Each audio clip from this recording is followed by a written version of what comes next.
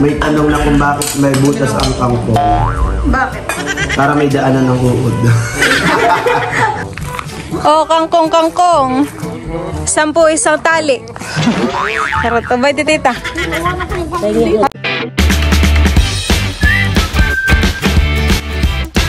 What's up mga kamilot? Welcome back sa aking channel. So for today's vlog po ay pupunta po ako ngayon sa Palayanan dahil na doon po si Papa at saka po si Lolo. Sila po ay nagagamas po doon ng damo.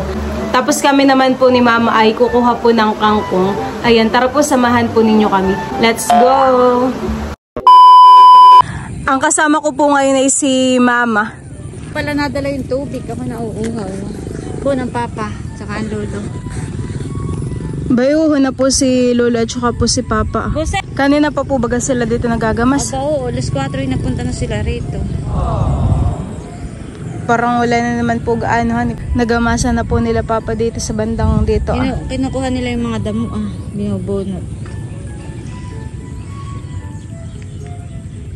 Eh di sila Papa po mamaya, mamaya pa po dito matatapos.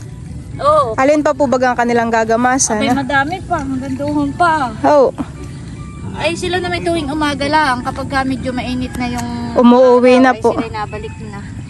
Dapat po pala yung pupunta dito yung madilim-dilim papuhan eh. Talagang madilim pa sila. Naalala ko noong ako'y buntis pa sa iyo.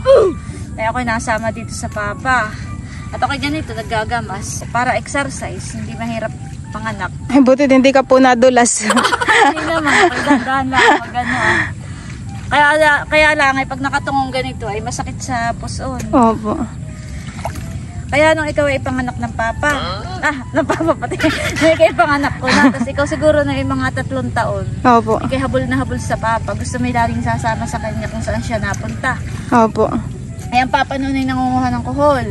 Ay, habang namumulot ng kuhol, ay ikaw ay akay-akay niya. Tingin namumulot din. May lagayan ka rin ng kuhol.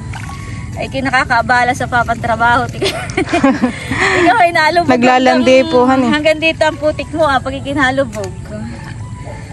Opo. Hanggang ngayon na may kay habol pa rin sa papa.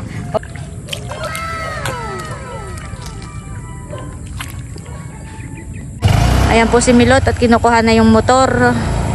Kami po ay kukuha ng kangkong doon sa kabila.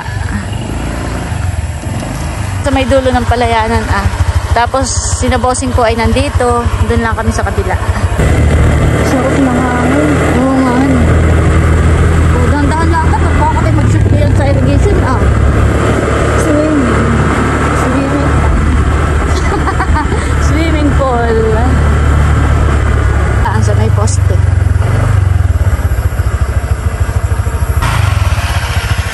Nagpa-park po ulit si Milot. Sigurado kang matigas na yan. Baka matumba yung motor ha. Tara, let's go. Napakarami na po kagad itong kangkong mamaahan. eh. Oo, pero dito eh, medyo malalim ang irrigation dito. Malalim pangunguha Ganda pa man din din. po ng eh. Doon na lang kataas sa kabila ng punong maliit. Sige po, tara. Ayan po yung mga kukuhain po naming kangkong ni Mama. Napakarami po. Tapos po ay magaganda po yung talbos. Sige, lusong na. Baka po dito, Iwanan mo na muna yung lagayan. baka po dito yung malalim. Hindi. Hindi, hanggang tuhod lang di yan. Tapos ay may lintat ahas. Wala nang di ang linta. Takot na lang sa iyo ng linta. Oh, ganda pa nga. Oo nga, ganda pang umuhan eh. Mhm.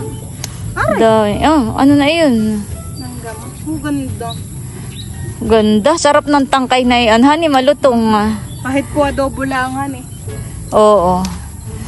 Ano luto mo baga? Sinigang. Sinigang, Siniganggang. siniganggang.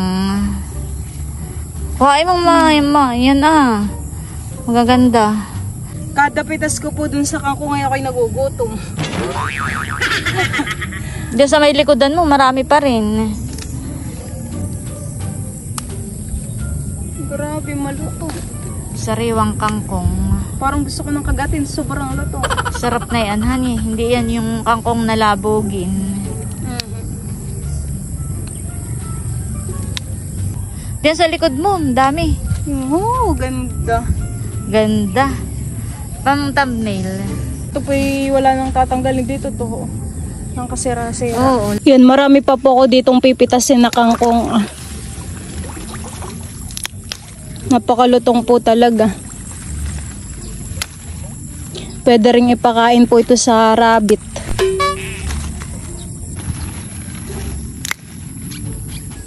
Aaho na po si Milot. Puno na yung kamay. Lalagay mo na dun sa plastic. Ito po yung view po namin ni Mama pangunguha po ng ano ah, ng kangkong. Parang ito po yung late na natalukanhan itong papalayanan po dito ah. Ang ginagawa ng papa ay yan. Yung apat na bayuta. Opo. Ito naman po yung binubukid po ni Papa. Apat na baitang po ito. Sana naman po hindi masira yung ating plastikan eh. Ay lalagay natin ito sa loob ng U-box. Opo, tatanggalin po natin yung helmet. Baka mamaya eh, Dami. manlaglag sa daan. Ayan po mga kamilot at kami po ni Mama ay pauwi na po ulit sa amin. Tugs. Tara na po. Ayan po at kami po'y pauwi na ni Milot. Kami naman po'y dahan-dahan laang, mabagal lang ang aming takbo. Tak takbong ganda. Oh, kangkong, kangkong. Sampu isang tali. Harap, abay di tita. Hat, hati mo na tita. Sa inyo nila lola. Tsaka kay lola Minda. Ah, ay na, sa tricycle. Baka meron din lulutong ko pala na may wala. Ben po lola Minda ang kangkong. Alasing ko na, apat na laro pala kayo. Ikaw po lola. Oo. Kumana po kayo din ng kangkong. Na sa akin. Ano kasi nung Hindi na kaunti laang. Hati na po ninyong tatlo yan. Bibilat ko. Alas 6 lang nila.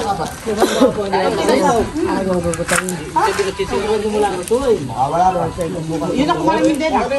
Marami naman huya. Ako ikaw ang pilat na masaya dyan kakain. Dapat ay may karning baboy. Gulay po muna. Marami na yung namin. Sarap yan po. Ayan po mga kamilot at ngayon po ay magluluto ako ng pork sinigang. Ito pong karne akin po munang isasangkot siya. Ayan po. Tapos po ay lalagyan ko po ito ng kaunting asin.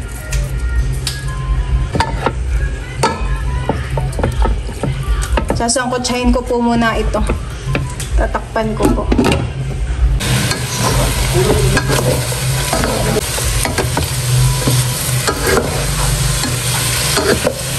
Ito po mga kamilot yung gagamitin ko pong mga ingredients sa pagluluto po ng pork sinigang. Yan, meron po ditong gabi, tapos po yung sili, tapos ito po yung mga sinigang mix. Ayan po. Meron din po tayong talong, tapos po kamatis, po labanos, tapos yung kinuha po namin ni Mamang Kangkong. Ayan po. At ito pong sinasangkot siya ay medyo pumupula-pula na po.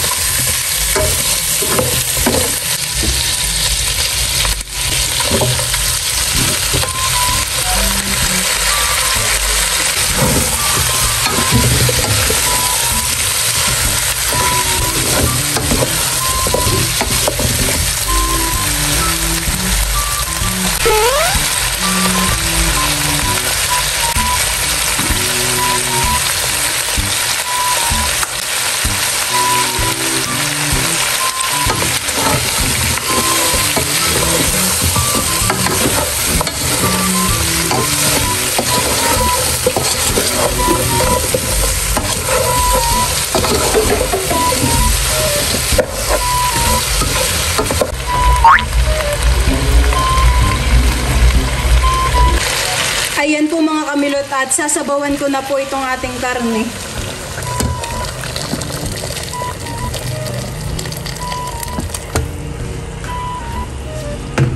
Ayan, na-check ko na po mga kamilot ito pong aking niluluto.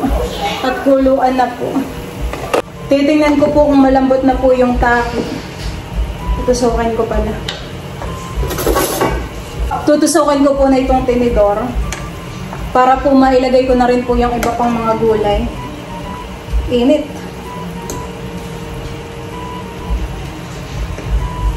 Malambot na naman po ito. Natutusok ko na po. Sarap. Ilalagay ko na po itong mga talong. At saka po itong labanos. Sasama ko na rin po.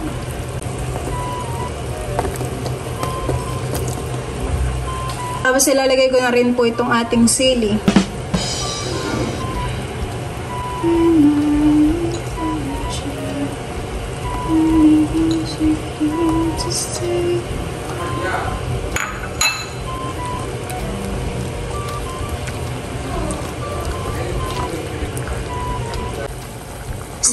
Sawa, sinong galit, sinigang na may gabi. Ayan, lalagay ko na rin po itong ating sinigang mix para po umasim ang ating sabaw.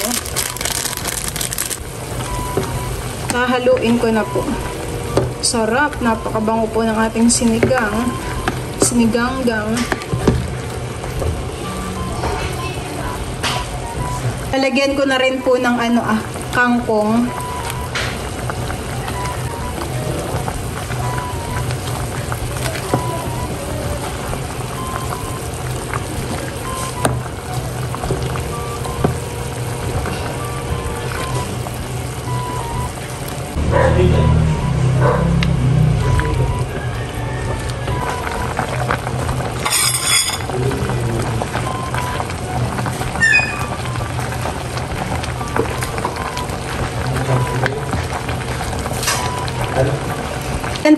Kamilot at kuluan na po itong ating siniganggang, itong ating sabaw. Ito po ay luto na rin. Dami po ng kangkong.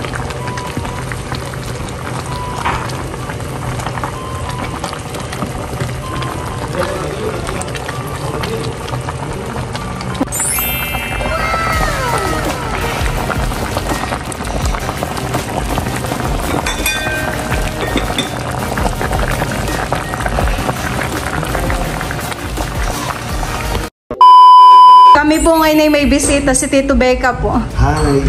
Nalaman ko kasi na amoy ko na masarap ang niluluto ko. Si Papa po'y gutom na. Upo ka na, Dudut. Dali. Ka sa kalapit na dito? Yun? Ako konti lang. Hindi, walang mabahan yan. Hindi mo ako pipigaan ng. May sa'yo din. Oo, masarap kayo. Wala kayong ka, kakain patisan eh. May buti siya tabi yan dito. Hindi mo kailangan ng. Ito sarap naman ang luto. Wow. Timplado na. Hindi ka sure. Parang gusto ko mag-keep ah. Sabi ni Dodo tayo, di ka sure. Sure na nga po. Ba't sakit man na? Sabagay, ito mo nga. Ah. Pinesing ka na siya kulay dito. Ano? Ang sarap pag libre ang gulay. Ano ito ito? Galit? Ha? Ito, balik ako sa kanin. Mmm. Sarap.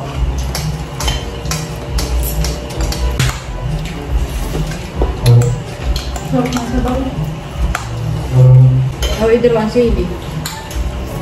Si Milo tayo walang rice. Bakit pero? Hindi man dahil nabili ng bigas at ang ating palay ay marami. Wow. Kaya kayo kakain naman ha. Mga diet naman. Diet, gusto mo rin kay diet, Dodo dietan na. Doon tayo dahil sa kanin. Sige, dudot na may diet eh sa ulam. Diet sa, sa kanin, pero pag ulam naman na, hindi diet at all.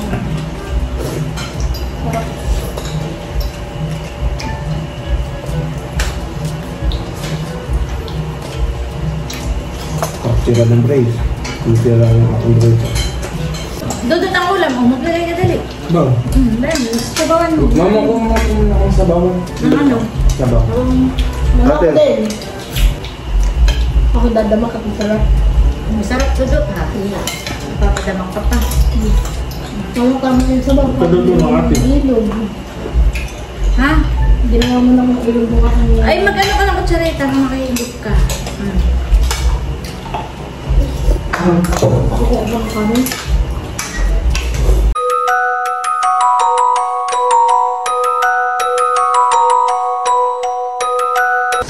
Si Dudut ay nakakamay. Dapat Dudut ay may sabawan din ang iyo. Gana, doon naman si Dudut. Masarap Dudut. Pa ulit ka, dudot. Maglagay ka Dudut ng gulay. Mama,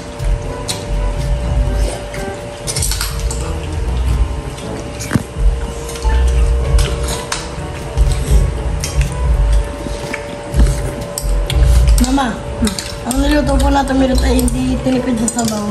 Magluluto ka ba gabi ka? Magdala ka ng kangkong. Okay. Tapos bumili ka mamaya sa bayan ng tokwat. Adobo sa Wow. tokwat. May tanong na kung bakit may butas ang kangkong. Bakit? Para may daanan ng uod. Ito ng amin pong view ay ito pong ano, palayanan. May mga talok na po. Hindi ako daw masala ang peraso. Maginhawa po dito. Nakadamak na po si Doto. Hindi naman siya nakakita ng... Sarap ang luto ni Milot. Ang Tito Becca ay busog dun sa restaurant ng Tita Mali. Mm. Pero nung maamoy yung itong ating ito mo yan. Sabi ko hindi ko maubos at ang dami. Kaya malay skill. Eh pero nung nakita ko luto ni Milot ay, at lalo nung natikman ko eh, nakapadamak pa. Bigla kang nagutom man eh. Mm-mm. Kahit busog ka, bigla kang napakain. Baby Pao, meron pa doon. Thank you Milot sa masarap na tanghalian. Yung uwi ito, ano.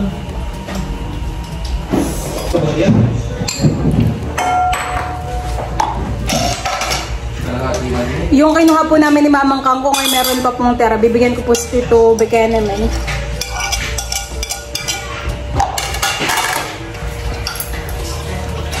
Sagot nga ng kanina. Okay, sa bro.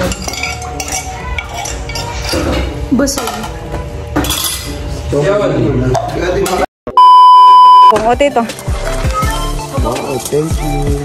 Pauwi na rin po siya sa Nakar. Salamat.